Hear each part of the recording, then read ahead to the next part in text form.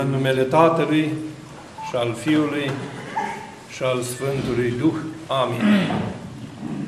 Iubiți credincioși, iată cu ajutorul lui Dumnezeu am parcurs și etapa anului 2009 și ne aflăm astăzi în fața a trei sărbători, dacă vreți, sau evenimente deosebite. Două de natură duhovnicească, unul de natură socială. Sfârșitul an calendaristic ceea ce numim noi cele 12 luni ale anului sau crugul zodiacului ceresc, nu a cititorilor în stele, ci a semnelor cerești, care spune la psalmistul David, cel ce ai făcut luna și stele spre vrem, spre zile și spre ani. Și aici avem acoperirea dreptului Iov, care vine și spune, când am făcut îngerii cei mari, când am făcut luminătorii cei mari, lăudatul m-au toți îngerii mei.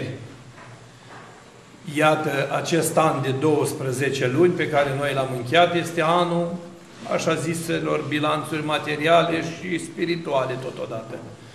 Dar aceasta ține de ceea ce numim noi un fel de balanță a realizărilor sau a eșecurilor sau a ceea ce am petrecut de-a lungul a 12 luni. Și întâmplător, sau poate întâmplător, anul are 12 luni, câți apostoli sunt și în, în preajma Mântuitorului Iisus Hristos, adică cei 12 ucenici. Un alt praznic important, care astăzi îl sărbătorim, sau cum să mai spune, botezul legii celei vechi a Domnului Iisus Hristos, pentru că la bobotează vom, să, vom uh, sărbători botezul legii celei noi a Mântuitorului Iisus Hristos, sau botezul cu apă, cum îl avem până în zilele noastre. Și aici ne vom opri asupra botezului legii celei vechi, sau punerea numelui pruncului la 8 zile. Dacă luăm de la 25, din ziua de 25 decembrie până la 1 ianuarie, sunt exact 7 zile și urmează 8 zi. În momentul în care Iisus Hristos vine pe pământ întrupat din Fecioara Maria, nu vine să strice legea sau prorocii, ci ca să le împlinească. Și atunci, automat, părinții, ă, părinții Mântuitorului, deci așa cum ei la rândul lor au dus-o pe Maria la templu Ioachim și Ana, și Iosif și Maria aduc pe prunc în fața arhereului pentru însemnarea trupului cu cuțitul de piatră, deci obicei rămas tocmai din ținutul ur cu 2400 de ani înainte de venirea lui Hristos, de la Patriarhul Avram, care a avut legământ cu Dumnezeu și a spus așa, toată partea bărbătească care se va naște să fie tăiată în prejurul trupului sau mădularului bărbătesc, ca să, ca să știe că este semn de legătură cu Dumnezeu. Și în clipa în care Iisus Hristos a venit, una din condițiile principale pentru care s-a putut petrece acest eveniment important sau praznic împărătesc tăierea împrejur, a fost păstrarea și respectarea legii. N-am venit să stric legea, ci doar să o împlinesc. Sau n-am venit să stric legea, ci doar să o desăvârșesc. Dar principalul scop cu care Iisus Hristos a îngăduit în brațele părinților, dacă vreți, pământești, Iosif și Maria să primească a fi tăiat de arhereu împrejur în modul grosolan, ca să spunem, pentru că era vorba de trupul lui Dumnezeu, era vorba de omul Dumnezeu, a fost ca să demonstreze lumii că, într-adevăr, istoria, deci, repet, istoria omenirii și a mântuirii este un act real. Deci Isus n-a fost o nălucă sau o arătare. Isus n-a fost un mit sau o închipuire, ci a fost un adevăr absolut descoperit de proroci, cum v-am spus, uh, cel fără de început, astăzi s-a născut, cum au spus prorocii, și iată-L pe Iisus Hristos în brațele Fecioarei Maria, dus la arhereu, care pur și simplu dezgolește trupul din scutece și taie cu cuțitul de piatră în prejurul trupului, pecetluind trupul lui Iisus Hristos cu botăierea botezului legii celei vechi sau legământului Avram. De aceea și Mântuitorul și-a permis pe parcursul activității mesianice să folosească această terminologie. Părintele meu Avram. Și atunci iudeii s-au îndrăcit toți și au zis, hei, auzi, n-are nici 30 de ani și spune Părintele meu Avram. Pentru că ei nu înțelegeau că Iisus Hristos era prezentul viitorul și trecutul. Deci era atemporar, era din totdeauna, mai înainte de toți vecii, lumină din lumină, Dumnezeu adevărat din Dumnezeu adevărat. După ce și-a demonstrat existența ființială cu trup, nu așa cum spuneau învățăturile greșite, a primit să se taie împrejur, tocmai pentru a putea opri această tăiere grosolană și a pecetui odată pentru totdeauna dintr-o tăiere de trup materială, o tăiere de duh spirituală. Și acest argument îl întâlnim la Apostolul, îl întâlnim la Apostolul Pavel, și îl mai întâlnim la schingirea arhidiaconului Ștefan, care l-am sărbătorit înainte de anul nou, când el se adresează ideilor și le spune Vai vouă celor tari la cerbice și netăiați împrejur la minte și la urechi. Deci, iată, acest botez pe care Dumnezeu l-a primit în mod material, el va deveni pe cetea legii celei spirituale, adică tăierea împrejur a simțurilor față de dezmățurile care ne stăpânesc pe noi ca oameni prin cele cinci simțuri. Un alt motiv pentru care Hristos a binevoit să primească tăierea împrejur a fost ca să ne arate că dorința de a fi model absolut și mântuitor celor care aveau să-L urmeze ca păstor, arhiereu și învățător, să vadă că este în stare să-și verse sângele încă din fragida pruncie. Dar mai presus de această simplă vărsare de sânge, aici se petrecea un lucru. Tăierea împrejur a legii cele vechi avea loc la templul lui Solomon. La acel templu al lui Solomon, arhereul avea o misiune exactă. O dată pe an, cu sânge de țap și de berbec, venea și stropea jerfelnicul pentru curățirea păcatelor poporului și a lui personal. De data aceasta, Iisus Hristos, arhereul cel veșnic, vine cu sângele său și spală și păcatele poporului și păcatele arhereului. Dar care arhereu? Pecetluind arheria Vechiului Testament, a legii celei vechi, și binecuvântând odată pentru totdeauna puterea spirituală de binecuvântare și sfințire a legii celei noi, adică a arheriei din biserica actuală, adică a ierarhiei. Deci arhiereul nu mai are nevoie să umple sfânta masă de sânge ca să se curețe păcatele poporului, ci păcatele poporului se sfințesc în chip spiritual cu sângele cui? Mielului fără de prihană, Iisus Hristos, iată mielul Dumnezeu care ridică păcatele lumii. Picăturile de sânge care au curs din frage de pruncie pe altarul legii celei vechi, au sfințit altarul odată pentru totdeauna, pe arhereu odată pentru totdeauna, de aia să-și spune, tu ești preot în veac după rânduiala lui Melchizedec și tot în, la apostol, la epistole găsim un astfel de arhireu ne trebuia sfânt și fără de prihană și așa mai departe. De ce? Pentru că Iisus Hristos, prin sângele Lui, mai întâi de toate a sfințit, deci țineți minte, mai întâi de toate a sfințit locul unde avea să aibă loc ce? Învierea și răstignirea și mântuirea neamului omenesc a sfințit întâi prestolul despre care va spune în timpul activității mesianice lucruri groaznice. Casa tatălui meu ați făcut o peșteră de tâlhari, casa tatălui meu casă de rugăciune se va chema și a permis în blândețea și în bunătatea lui și a luat chiar un bici cu șapte uh, funii, cu bile la capăt, a răsturnat toate mesele din biserică. Ce era cu acele mese în biserică? Devenise obiceiurile legii vechi mai mult o tradiție, dar atât de bine împământenită că nu mai conta la curățirea femeii la 40 de zile sau la punerea numelui pruncului sau la spălarea unor păcate. Nu mai conta dacă omul s-a spălat sau s-a curățit sau s-a săvârșit taina în sine. Conta de acum afacerea, ca să-i spunem, bănească, prin care cei care veneau la templu vindeau. La săraci doi pui de turturel, la cei mai puțin săraci doi pui de porumbel, la cei mai bogați un mielușel și o să vedeți că Maica Domnului, cu toate că era împărăteasa cerului și a pământului, nu și-a permis să vină să cumpere un miel, ci a cumpărat Ioachim și Ana? Doi pui, de, deci a cumpărat Ioachim și Ana când a fost adusă Maica Domnului în biserică și chiar când l-a adus pe pruncul Iisus la Simeon să-l închine, doi pui de turturel, adică simbolul sărăciei, a smerenii.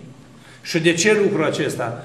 Ca să ne scoată nouă îngânfarea din cap că dacă ai venit la biserică și ai adus un colac către roata carului sau unul de un leu și ai pomenit morții, cel către roata carului morții sunt în rai sau vii, când faci o slujbă de mulțumire, iar cel care este un colac de un leu, morții n-au primit jerfa sau nu. Deci ca să ne arate că modestia de fapt este cea care încununează, iar jerfa pe care o faci tu este doar o răsfrânge a dragostii tale față de Dumnezeu, dar nici de cum etalonul vreunei trecere în fața lui Dumnezeu cu ceva mai special, că tu ai reușit să cari magazinul în biserică. Nu. Deci dreapta socoteală. Ai, aduci, n-ai, n-aduci sau cum spune acolo în rânduielile bisericești, lucrare după putere. Văduva când a venit la templu a pus doi bănuți. Bogatul a pus mulți. Mântuitorul a spus, iată, toată inima ei este acolo. Mare fapta asta în cer și se va scrie pentru toate veacurile. Deci asta trebuie să înțelegeți. În primul rând, Dumnezeu a venit să proslăvească în smerenie. Și tocmai această smerenie a îndurat-o trupul cel neîntinat al lui Isus Hristos ca Sfânta Masă și Pământul Ierusalimului, batjocorit de toate mărșăviile legii vechi și dacă vreți o singură mărșăvie concludentă, despre care scrie în Vechiul Testament și n-ați fost poate vreodată atenți, este și aceasta. Ili, preotul, pe când era la templu, avea doi fii, pe Ofni și Fines. Aceștia ce fă făceau? Făcuse un fel de haită din asta, așa, cu leviți, care sunt chipurile diaconii de astăzi, așa, și cu slujitori de la templu, n-aveau nicio treabă. Când veneau oamenii și aduceau la jertfă cărnurile, că nu se aducea ca acum prescura și lumânarea, ei alegeau ce aveau nevoie. Nu le mai ferbeau, nu le mai jerfeau, făceau o speție și mâncări și Dumnezeu îl strigă pe prorocul Samuel și îi spune Samuile, Samuile! Și prorocul a zis, da, robul tău, ascultă. Spune-i lui Ili că ce fac copiii lui nu fac bine. Este echivalentul aceluiași lucru de astăzi când vine un credincios și spune a, părintele n-a mai făcut slujbă la noi, că au fost puțini oameni, ă, era departe biserica, era noroi, a plouat, a zis că nu mai vine, a rămas la centru. Deci această neglijare a celor sfinte l-a iritat pe Dumnezeu în Vechiul Testament. Mai mult decât atât, i-a vestit și a doua oară dar el, ca mare preot și ca mare om al legii celei vechi, le spunea fiilor săi, ce aud eu de voi, nu prea aud bine. Și atunci s-a mâniat Dumnezeu și i-a spus lui Samuel, spune-i lui Ili că dacă eu îi vorbi eu odată, o să-i trosnească urechile. Și într-adevăr, în momentul când filistenii au venit cu război, Ofni și Fines, cine erau? Feciorii protopopului și-au luat rapid sicriul legii celei vechi, i-au pus pe umeri cu lada de aur, cu tablele legii și au luat-o înainte la război. Ce era cu acest sicriu? Pe unde mergea înainte sicriul legii, toți dușmanii erau învinși. De ce? Pentru că Dumnezeu îngăduia ca popor de păgâni să treacă la iudaismul, la religia mozaică, pentru a putea crea creștinismul de la răstihnire. Și atunci, în momentul în care au ajuns pe câmpul de luptă, Dumnezeu a ridicat harul pentru moment și ce credeți că s-a întâmplat? Prima dată a sărit în luptă capurile lui Ofni și Fines, care erau în față ca două cocote. Și atunci unul din ostași a fugit repede la preot și i-a spus, Ili, Ili, fiii tăi au perit pe câmpul de luptă și sicriul legii este în robie. Ce însemna robia? Necurații au pus mâna pe sicriul legii, dar nu s-a întâmplat chiar așa. Pentru că în momentul în care au pus mâna pe sicriul legii s-au umplut de bube și atunci l-au pus pe un car și au pus două junice și el s-a dus în direcția lui, l-a dus Dumnezeu unde era trebuia dus.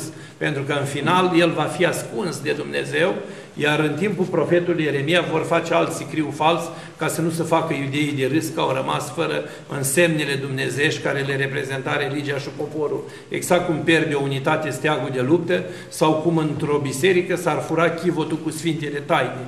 Deci asta ar fi una din cele mai mari profanări. În momentul respectiv, Ilie a trosnit urechile, a făcut atac anevrism sau cerebral, cum vreți, și a crepat, a murit.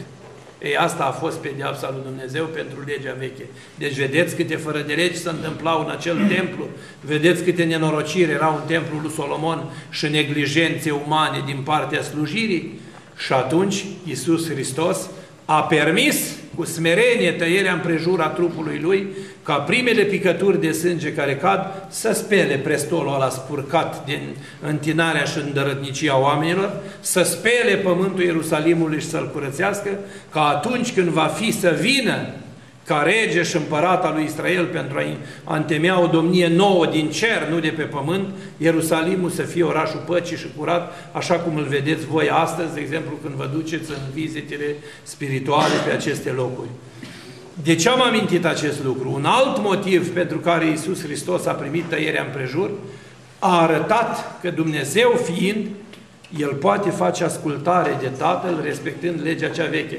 Putea să zică, tată, n-accept tăierea, că doar sunt fiul tău. Nu, asta e pentru oameni. Nu! Ce a primit să se taie împrejur, a primit să se taie împrejur ca să facă ascultare de legea Tatălui. Așa cum și noi ortodoxi trebuie să facem ascultare de biserică și să nu ținem copiii ă, nebotezați cu lunile, cu ani și cu zilele și cu săptămânile, pentru că nu ne-am pregătit nașii, n-am găsit bogații care să pună în fașă, n-am găsit ă, restaurant unde să ne petrecem, nu. E o taină mare aceasta, ca și celelalte taine, în care copilul se încreștinează în Hristos și mai puțin cu mătria, șampania și lovelele. Deci trebuie întâi și întâi, până în 40 de zile, obligatoriu să fie botezat și pus numele, ca la 40 de zile, ca pe pruncul Hristos, să poți să-l duci în biserică și să-l arăți preotului, adică să-l închine la Sfânta Masă, la Sfântul Jertfelnic. Un alt motiv pentru care tăierea împrejur a avut un rol fundamental și ea rămâne la nivel spiritual ca o taină de curățire interioară și pecete de botez, care nu, nu, nu preînchipe altceva decât botezul cel nou care îl avem noi astăzi, este demonstrată că atunci când Moise stătea în munte, repet, și aștepta de acum tablele legii a doua oară, pentru că prima dată Dumnezeu văzând dragostea poporului său i-a trimis table de safir. Deci tablele legii au fost scrise pe safir. Poporul a strâns imediat de la femei podoabe, ghiuluri, cercei, s-a răzvrătit împotriva lui Aron, care păzea poporul cât Moise era în munte, și au făcut un vițel din aur și au început să cânte și să joace în jurul lui ca și cum ar fi Dumnezeul lui. Și s-a mâniat Dumnezeu și i-a ținut 40 de ani în pustie până au pierit toți cei care s-au închinat idolului și au acceptat această nerușinare față de Dumnezeu Savaot. Iar în momentul când Iisus Navi a ajuns la Ierusalim, la Țara Sfântă, la Pământul Făgăduinței, Dumnezeu a dat poruncă și i-a spus așa, fă cuțite din piatră ca să vedeți de ce a purtat și Hristos două botezuri, unul la Iordan și unul la Sfânta Masă a Vechiului Testament. Fă cuțite din piatră și taie încă o dată tot poporul împrejur. De ce? Este aceea ce se întâmplă în biserica noastră astăzi, când oamenii se sălbăticesc și îi găsești la Jehoviști, baptiști, penticostali, trebuiesc re, redăruiți Duhului Sfânt prin mirungere și ungerea cu marele mir, care înseamnă tăierea duhovnicească împrejur la minte și la simțuri. Și tot poporul a fost tăiat împrejur și apoi a trecut în țara Iordanului, unde curgea mierea și laptele, și apoi le-a dat Dumnezeu puterea și a ajuns la cetatea Erihon. Erihonul de astăzi, un oraș mizerabil și urât, deci nu prea ai ce să vezi acolo, câmpie, pustiuri, năcăjiți, beduini și alți nenorociți, dar este simbolul păcatului. Cea mai puternică cetate din preajma Ierusalimului, păgână, era Ierihonul. Și nu putea fi cucerit, avea niște ziduri imense. Să văd și astăzi, să văd și astăzi ruinile Ierihonului, acolo sunt anumite însemnări, cât sunt de reale, cât sunt de păstrate, cât sunt de, ca vestigii arheologice, dar în momentul când iudeii au ajuns în coasta Ierusalimului, pentru că nu e departe Ierihonul de Ierusalim, această cetate era singura cetate care nu putea fi biruită. Și atunci s-a auzit glas din cer și a spus așa, dimineață, deci dimineață, iată, curat cu cugetul și cu mintea. Dis de dimineața în răsăritul soarelui, înconjurați cetatea de șapte ori, deci cele șapte taine, țineți minte, și apoi cântați din trâmbițe și a venit Arhanghelul Mihail cu miile de oști îngerești, a luat tot Erihonul foc și s-au dărâmat zidurile ca de la un cutremur de n-a rămas piatră pe piatră. Și în felul acesta iudeii au putut birui și au spart ultima redută a păcatului din preajma Ierusalimului. Și ce înseamnă simbolic la Maxim Mărturisitorul și la Sfinții Părinți lucrul acesta? Înseamnă că ultima redută a păcatului care trebuie cucerită este mintea și voința în care Hristos după aceea intră în Ierusalimul inimii liniștit scoți gărgăunii din cap, tâmpeniile din minte, dracii din burtă și din stomac prin îmbuibare și în momentul acela ai cucerit Ierusalimul inimii și te întâlnești cu Hristos sau poate Iisus Hristos să intre acolo, cum spune la psalm. În dimineața am ucis pe toți păcătoșii pământului să nu stăpânească în cetatea Domnului fără de legea. Deci iată motivul pentru care Mântuitorul Iisus Hristos a acceptat să fie tăiat în prejur ca un învățător, ca un înainte mergător, ca un iertător, ca un mântuitor, ca un ocrotitor și ca un izbăvitor. În momentul în care Iisus Hristos a fost tăiat în prejur, i s-a dat numele Iisus. De ce? Pentru că vom vedea la botez că spune acolo, se tâlcuiește Emanuel, cu noi este Dumnezeu. Deci cu noi este Dumnezeu de acum, că ne-a luat în primire și ne-a împăcat cu Tatăl, dar de acum vine Iisus, cuvântul întrupat, să ne mântuiască, că așa spune și în Colin, să se nască și să crească, să ne mântuiască.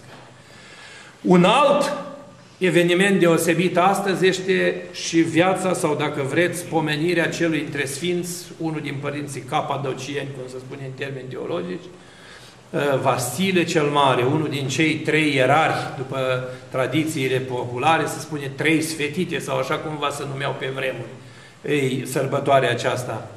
Deci acești trei ierarhi au marcat biserica prin scriere, trăire și prin ceea ce au lăsat cu viața și cu exemplul lor, dar Sfântul Vasile a fost deosebit prin faptul că a crescut într-o familie creștină de înaltă cultură duhovnicească, de unde s-au ridicat cinci sfinți și de ce vă spun de cinci sfinți? Emilia și Vasile, tatăl, tatăl, tatăl sfinților aceștia, că ei au fost mai mulți copii, deci au fost cei care i-au educat, iar bunica Macrina a fost cea care le-a insuflat puterea dreptei credințe și i-a făcut sfinți, ca să spunem așa, pentru că educația din, din casă se dă, din familie. Iar Sfântul Vasile, uh, Petru al Sevastiei, uh, Macrina, sora lui, deci toți au ajuns la înălțimea duhovnicească de a fi trecuți în rândul Sfinților și iată că în felul acesta Sfântul Vasile va deveni prin trăirea și lucrarea lui arhiepiscopul, arh, arhiepiscopul Cezariei Capadociei, scaun păstrat undeva prin Asia de astăzi, care este încredințat Bisericii Ortodoxe Române, dacă ați văzut când se pomenește întâi stătătorul, spune locțitor al scaunului Cezarei Capadocii. De ce lucru acesta? Ca să înțelegeți că Sfântul Vasile a fost un model de erarh. N-așteptați să vă citesc eu viața și să vă povestesc de acum întâmplări. Luați viețile Sfinților pe ianuarie, să le aveți în casă, în loc de horoscop, formula AS și revista de slăbit, și puneți mâna și găsiți la 1 ianuarie modelul ierarhului milostiv, modelul ierarhului care îngrija de bolnavi, modelul ierarhului care nu și-a părăsit biserica în caz de primejde, ci s-a pus de-a curmezișul chiar în fața împăratului și împăratul că poți, zice, când mă voi întoarce de la oaste, cu mine te vei judeca. Sfântul Vasile a luat poporul, s-a dus în biserică, a căzut și s-a închinat în fața icoanei Sfântului Mercurie, a Mântuitorului și a Maicii Domnului, iar la un moment dat, deci la un moment dat, a ieșit Sfântul din icoană în văzul poporului și s-a întors nu după mult timp cu sulița înroșită în sânge. De ce? Rivalul împărat a fost răpus de mânia Sfântului pentru că s-a legat de alesul lui Dumnezeu. Sfântul Vasile nu s-a ocupat numai de filantropie, vă spun, acele vasiliade de pe care, despre care nu stăm să povestim și să tâlcuim. Deci este prima formă de spital creștin și prima formă de filantropie creștină. Dar bineînțeles că în aceste filantropii ale Sfântului Vasile cel Mare să nu credeți că erau oploșiți, fumători, bețivi, borfași din canale sau vagabonții certat cu munca. Nu! Creștinii neputincioși, creștinii care și-au dat averea bisericii, creștinii care erau bătrâni și n-avea cine să-i ajute, creștinii bolnavi, ă, creștinii rămași fără urmași, deci oamenii cinstiți și corecți. Biserica nu încurajează lichelele. Deci acelea se duc în direcția lor, acolo este proverbul la popular, unde, de unde ai scurmat, de acolo să te hrănești. Deci dacă n-ai făcut nimic în viața aceasta pământească, nu poți să urmezi și să moștenești ceva din viața aceea cerească. De ce am amintit lucrul acesta? Uh, de o deosebită uh, lucrare spirituală, Sfântul Vasile își permite personal să facă experiența ascetică a trăirii uh, mănăstirești, undeva la o mănăstire din Pont, de unde după aceea scrie reguli mici și mari pentru monahi. Deci, învățătura după care să vețuiește în mănăstire. Cum să te rogi, cum să te închini, exact asemănătoare unui tipic ca Sfântului Sava, care se ține de strana cu cântări, Sfântul Vasile se ține de conduita monahală, de conduita morală, de conduita legiuirii canonice și tot ce este rânduit. Și mai mult decât atât, făcând studii la Atena, avându-l pe marele profesor Euvu, el a fost unul din ierarhii care a strălucit în cultură. Se spune că în vremea lui, pentru că nu puteau să-l emită altfel oamenii, unii se îmbrăcau ca el, alții își lăsau barba ca el, alții vorbeau ca el, alții mergeau ca el, alții mâncau ca el, se comportau ca el, îl imitau, mai muțărismul. Ei, dar nu înțelegeau că acest Sfânt Vasile avea din nativitatea lui starea de a putea face minuni și de a fi plăcut lui Dumnezeu, că ajunsese încât, a, știți povestea cu păcatele șterse de la femeia care plângea urma sicriului, știți cu evreu în care mort fiind Sfântul Vasile, a înviat la botezat și apoi s-a pus din nou în raclă și a adormit în Domnul, și nu mai spun mai mult decât atât, modul cum trata problema ecumenistă și modernă zilelor noastre dacă astăzi să fac diferite eforturi de apropiere spre dreapta credință, prin povești și discuții mai utile sau mai inutile, Sfântul Vasile nici n-a prididit aș pierde vremea. A venit la arienie din vremea lui și a spus așa, ați ocupat biserica cu forța, da? Uh, politica v-a permis acest lucru și la vremea respectivă politica avea influență asupra bisericii. Deci biserica era legată primordial de apucăturile necugetate ale oamenilor din stat. Și bineînțeles că Iulian Apostatul și Valens aveau grijă să stimuleze arienismul pentru că era o modă de a dezbina creștinii între ei. Și atunci Sfântul Vasile s-a dus către mai marele biserice de acolo care o ocupase cu forța și a spus așa, uite, zice, eu văd un mod de lucru cu totul, mi se pare normal. Pecetluiți biserica, puneți-i zăvoare, puneți-i lacăte, puneți-i peceți. Rugați-vă la Dumnezeu vostru dacă se deschid ușile, ea voastră. Dacă ne rugăm noi și nu se deschid, tot a voastră să fie. Dar dacă ne rugăm și să deschide biserica, apoi dați-ne-o și nu vă puneți de acurmezișul Dumnezeului cel adevărat.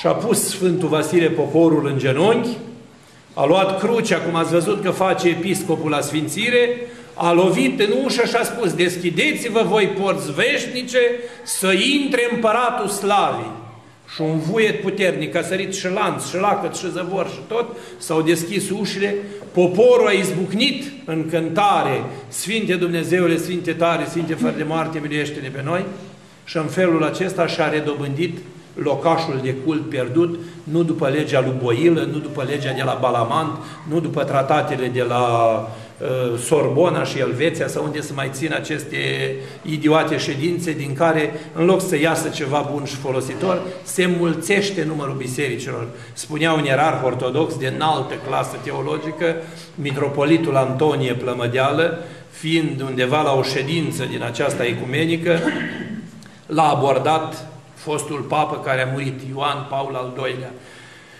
și i-a spus, excelența voastră, știu că străluciți prin studii și cultură, am înțeles că Biserica Română se mândrește cu dumneavoastră. Nu, cu Hristos se mândrește, zice, eu sunt un muritor.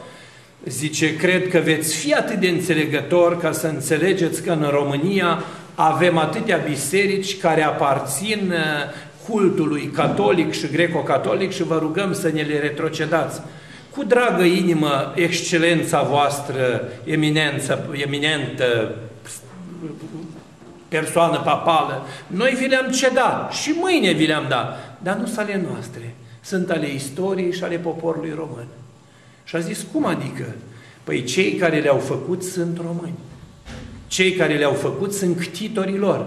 Și apoi zice, aici nu suntem la negoț, nu putem spune mai lasă stăpâne sau mai aju pâine. Ce a lui Dumnezeu rămâne a lui Dumnezeu.